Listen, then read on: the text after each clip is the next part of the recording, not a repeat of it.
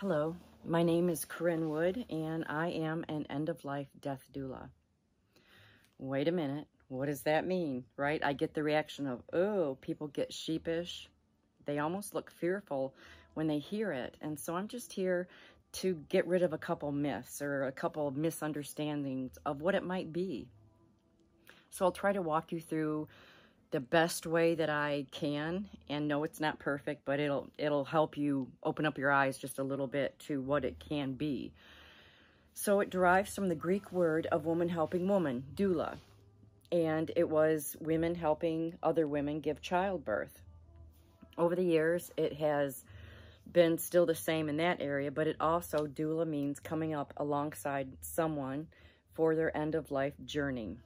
And I know that can sound scary, and I know you might be saying, why? It's something that, as a general, most people don't talk about or discuss. They are in denial and they think that it's never going to happen or not to them or right not right now. I don't need to think about it. We all need to think about it. We're all going to have a day when we quit breathing. So what does that look like? Some people, it instantly makes you feel uncomfortable and fear. I understand. What does a death doula do? How do they come in? It could be that you aren't even facing death right now. You don't see it in your future very soon.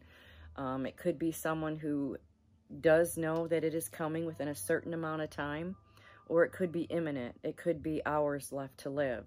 There are different parts of the journey, and we help you through every one. Well, what do you mean you help us through? Um, it's kind of like the best way I can explain it is coming in and helping you button up every aspect of your life, helping you see all the different things that need to be taken care of, all the different things that can be done to help make that easier for you. How do you envision it? How do you want it to be? Um, there's lots of many different situations. There's many different doulas. No two doulas are alike.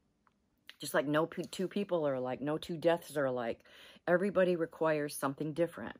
So when you decide, or maybe you haven't decided, but you want to talk a little more about it, you set an appointment up. We sit down and we talk about what your wishes are and your ideas. Can I help you with that? How can it be done? Obviously, in a half hour, we can't even begin to touch what all the different things that need to be addressed and taken care of and thought about. So it's a process it's a long process and it can have many different things that need to be looked at. Like when you set back, you calm down and you think about all the different ways that you may die, we get confused, right? We get overwhelmed, some people. This just helps walk you through it slowly. You might have a legacy project to be done. You might have arrangements that need to be taken care of. You might want everything done so your family has nothing to worry about. Because a lot of times we think we burden people. It's not true, but for some reason we think that. I come up alongside you and I help walk you through that. I help you with it. I don't tell you what to do because it's your life. It's your wishes, and that is why I am there to respect that. It's not about me. It is all about you. It's about encouraging you, comforting you. Well, what do you mean? It's a hard subject for a lot of people. It can be a really frightening journey for a lot of people. I'm consistent.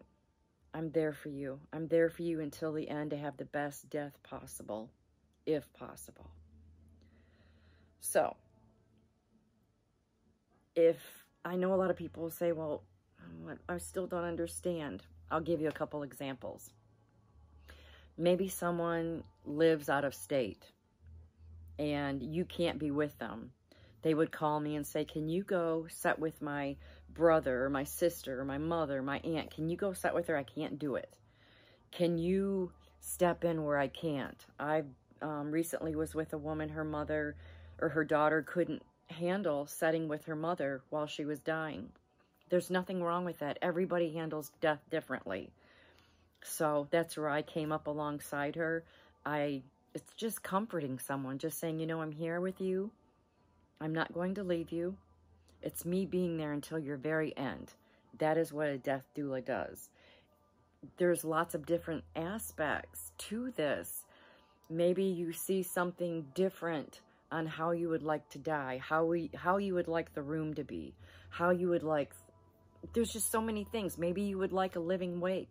Maybe you would like to have a funeral where you're alive, you invite your friends and family, and you're celebrated. Everybody talks about the difference you've made in their life. I mean, there's just so many things that can be addressed. And again, it's non-medical. I'd have nothing to do with the medical side. That's for the doctors. That's for the healthcare. Um, I am involved with hospice, but I'm not there as a hospice representative.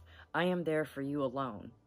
I'm different. It could be someone calling me at 2 in the morning and saying, they are actively dying, you need to get here. That means I get out of bed, I have a bag already packed, I am on my way to be with you. I will be there. Obviously, I only serve people in my local area because it's not logical to think I'm going to fly to Los Angeles, right? It, it's too much time. We don't know how much time you have, so I serve everybody locally. It could mean you're in a nursing home. It could be that you're at home. It could be that you're in the hospital. I go to you wherever you are. And you can change your mind at any time about what we talk about, about what you want. There's nothing written in stone. It's about your wishes, not mine. So it's something I take very seriously. It's something I'm very committed to. Why would you want to do that? Why?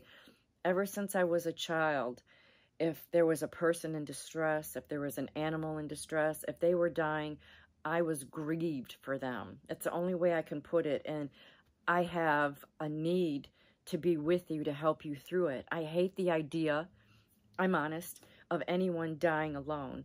I hate the idea of someone being in fear, if I can at all help you, encourage you, support you, just let you know someone is there with you, that is my goal, is to be there for you. Just so you know that you're not alone. I know not everybody feels they can do it. Not everybody can do it. Not everybody is expected to do it. We all have different things that we feel a need or that we're drawn to as humans. We all have different interests. So what I can do isn't what you can do. What you can do isn't what I can do. Um, so it isn't for everybody. But if you feel it's something that you need or you want to talk about and it's at any point in your journey or someone in your family's journey, don't be afraid to reach out for me. That's what I'm here for, is for you.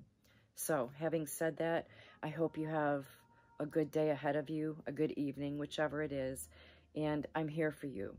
All you have to do is reach out. Thank you for your time. Bye-bye.